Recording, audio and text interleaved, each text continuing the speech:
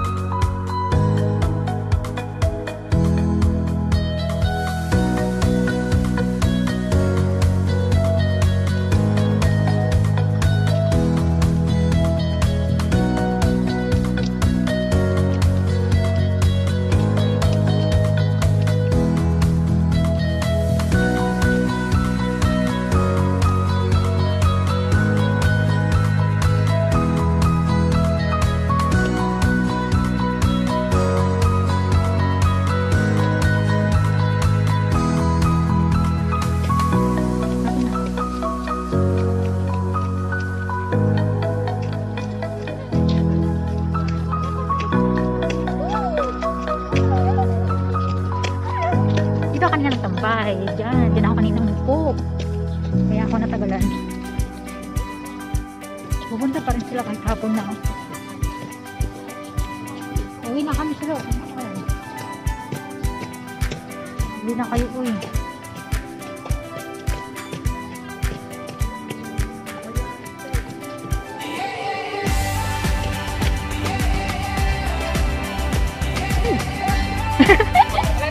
Oo, malayo siya. Ha? Abutin ka ng gabi. Balik na kayo. Ano?